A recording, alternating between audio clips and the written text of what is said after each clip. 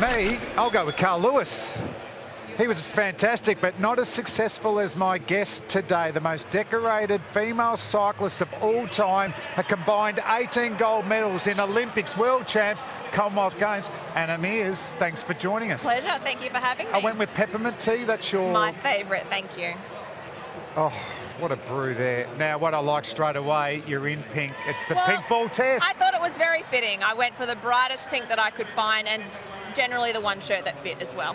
no, I like it. Very good. Hey, now, what about why cycling? Growing up, were you playing other sports or you just wanted to get on the bike? I did all sorts of sports when I was a kid, but um, I followed my big brother into BMX as a youngster did that for BMX a number of Bandits. years. Was yeah. it in Nicole Kidman? All over the BMX Bandits. Oh, yeah. I, I, didn't do the flip, but I stayed on the ground a little bit more. But um, ultimately in 1994 saw Kathy Watt um, win gold for Australia on the velodrome, and that's oh, what yes. kind of sparked my interest in that. And was that the one you wanted gold? And guess what? You got gold.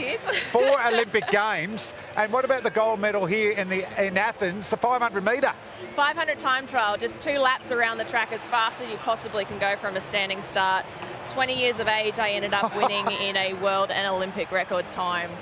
And um, what about the feeling getting on the podium, though? You're hearing. Uh, uh, it, was, it was incredible, you know, like the podium is one thing, the anthem is another.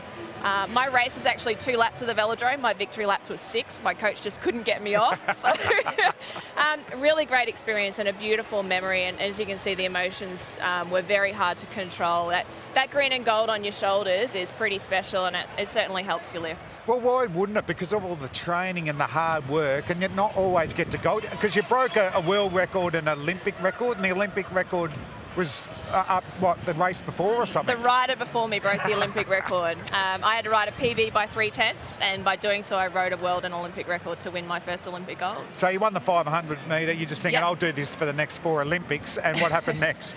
Uh, well, BMX came into the Olympics, which unfortunately meant two medals had to come out of cycling, and the 500 was one of them. So I had to refocus a bit more on the individual sprint, which is a bit more cat and mouse. Yeah. Someone else to worry about on the track, which made it a bit more difficult. No, and also talking about the tactics, though, over the years, you had the know thy enemy tactic. Can you yes. just elaborate a little? I like the tactical side of things. Sprinting is very, very tactical, and London was a big challenge because the, my biggest rival was Victoria Pendleton. She had been undefeated for six years oh, internationally. Geez. So my coaching team brought about the Know Thy Enemy project, which was to get to know Vicky Pendleton enough to learn what I needed to do to improve myself to beat it. her because yes. she wasn't going to get worse. I had to get no. better. And weren't you training against a, a male um, yes. cyclist as well? Yes. So we practiced the skill and the strategy with uh, my teammate Alex Bird. Um, and that's, that strategy was brought about by Gary West, my coach, Nick Flyger, my sports scientist, um, Rick Shuttlesworth, a skill acquisition like specialist. Um, so for the three years we made this plan.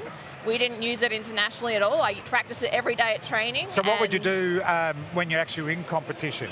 So you, are oh, not practice, playing dead, but oh, no, you're no, actually no. going, oh, this I is the way. plan B, uh, C, D, E, F, J, yeah. you know, just in case I couldn't pull off plan So I used to do that, but I didn't have a plan A. Oh, that's, that's pretty important, yeah. isn't it? You want to be gold medalist.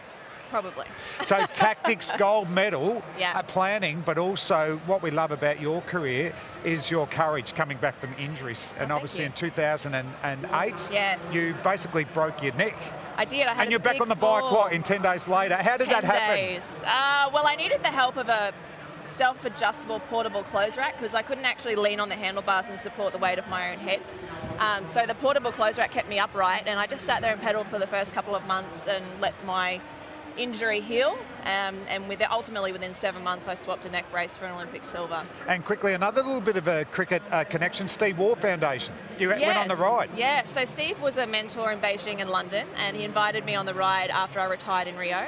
I've done it for three years now. Um, the longest rides I've ever done have been on the Steve Waugh Foundation oh, ride. Did um, he mention me? I'm quite close mates with him. No, he didn't actually. Oh, okay. Uh, you might need to take that up with All him. All right, well, let's finish on a positive. um, you're due, your first child I will am. be in an Olympic year. And I, think we've got a little Instagram photo of you still riding. Yeah, my How partner exciting. Nick and I, we're expecting our first bubby. um, obviously, he's a Kiwi, I'm an Aussie, so we're battling more over those colours rather than the green and blue, the blue and pink, sorry.